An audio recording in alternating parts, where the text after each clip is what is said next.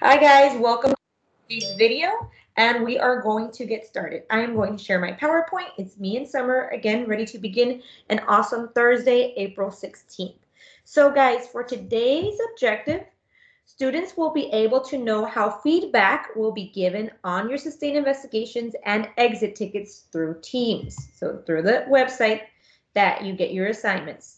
So objective and what you need to know. For this assignment, you need to know how and where feedback on your sustained investigation and exit tickets will be given, how feedback will be found and received to you. Remember, countdown clock to sustained investigation 7 is due was due by Monday, April, um, by Monday this month, the 13th. If you have not submitted it to Google Classroom, I will give you more time, but please make sure you do submit.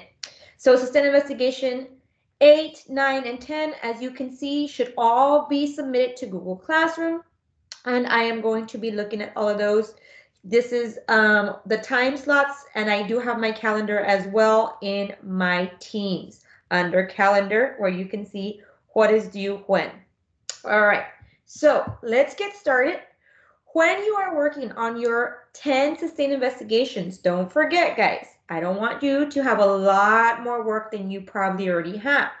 So what I mean by that is don't forget part of your sustained investigation is showing process. You can get your thumbnail sketches together and put them in a collage and that can be one sustained investigation.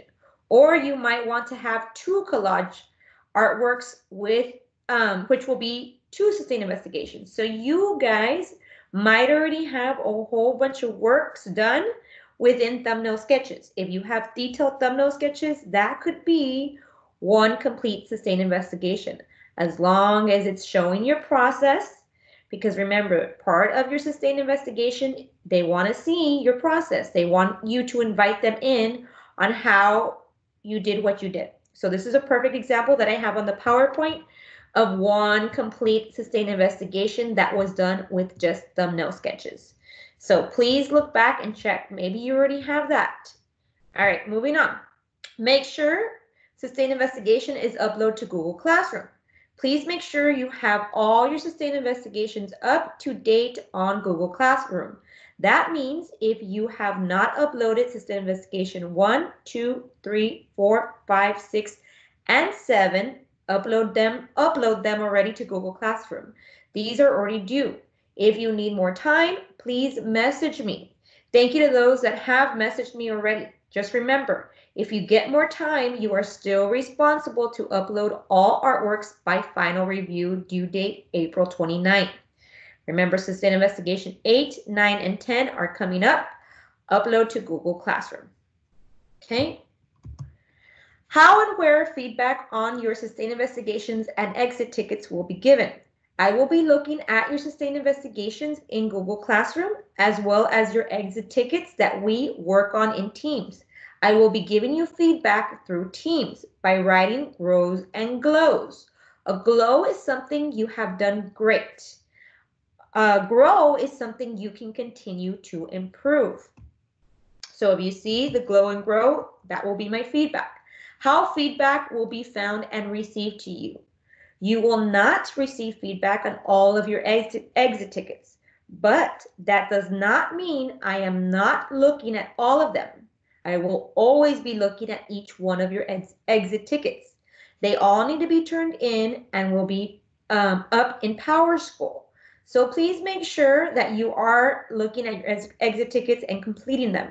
I make them as simple as possible because I know you have your sustained investigations to work on. So they are very quick little questions. So how feedback will be found and received to you.